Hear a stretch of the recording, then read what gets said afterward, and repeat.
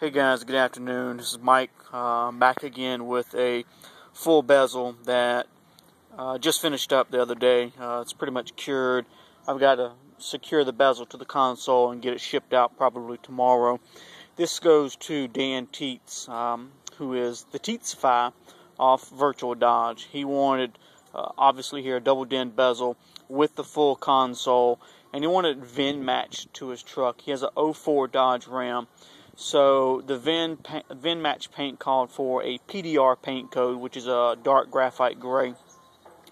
So pretty much got this all primed, got it painted.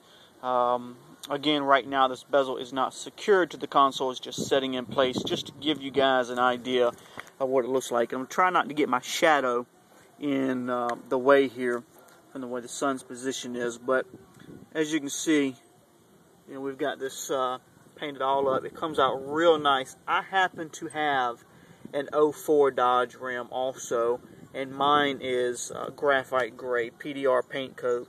And I put this next to my vehicle, and it blends really well. Now, obviously, this is going in the inside of the vehicle, but um, just to kind of give you guys an idea.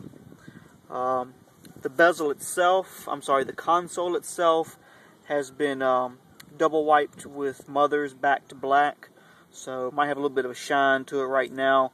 Uh, when I get ready to ship it out, I'll rub it down with alcohol on the side so I can put the masking or the painter's tape on here to hold the bezel in place. But uh, just wanted to show you guys this again, some of the work that I do.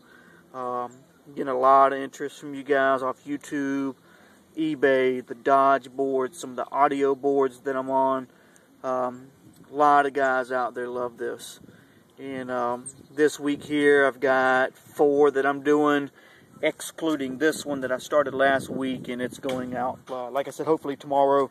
Got to get a box, some packing material, stuff like that. But anyway, my name's Mike. If you guys need one like this, you know, 02 to 05 Dodge Ram, double DINs, all custom, handmade. Um, I've got molds set up to where I can make these with perfection.